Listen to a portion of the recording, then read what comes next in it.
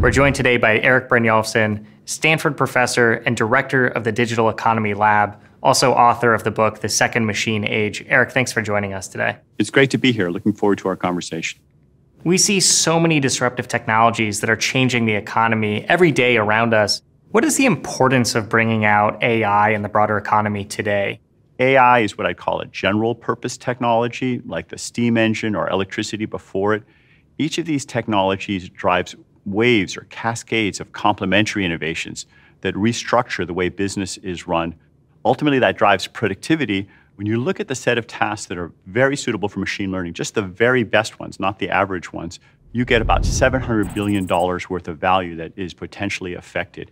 Technology is powerful, but it also requires a lot of transformation of business processes, new products and services, new skills, and those all take time.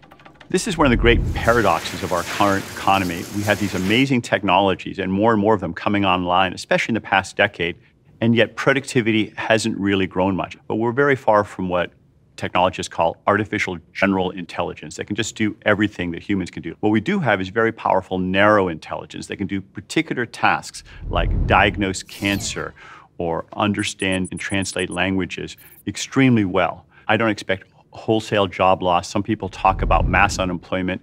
That's not what's going on. And companies that try to just automate whole big categories of their workforce probably aren't going to do very well.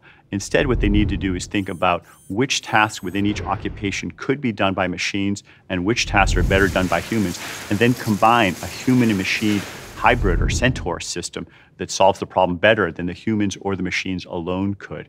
I would not say that machine learning is going to replace workers or managers anytime soon, but managers who know how to use machine learning are going to replace managers who don't.